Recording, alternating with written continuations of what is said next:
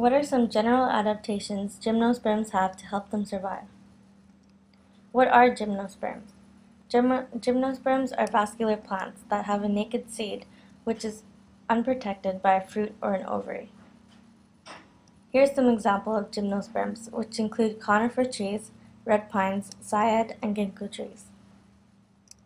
Gymnosperms have evolved over the last 300 million years.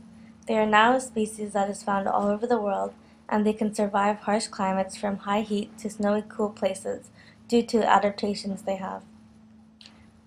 One adaptation they have is that some of them are evergreen. This means that they maintain their leaves throughout the whole year. This adaptation allows them to live in harsh climates and perform photosynthesis at any given time the weather allows. Another adaptation they have is the cuticle. The cuticle is a waxy layer of tissue that covers the leaves.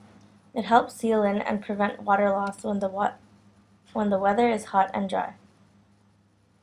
Here's a picture that shows plants that have a cuticle. They will appear shiny in color.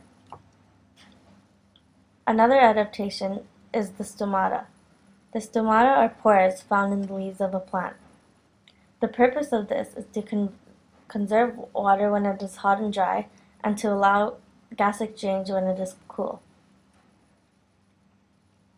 Some gymnosperms are cone shaped. This is an adaptation that allows them to shed water and snow from their leaves easily. One of the most useful adaptations for gymnosperms is the seeds. The seeds became an important means of dispersing their offspring. Also, pollen became an easier way of fertilizing instead of having to fertilize through water.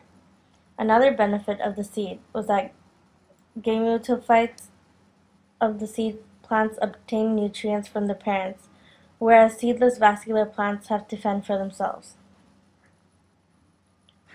And those are general adaptations of the gymnosperm that helps them survive.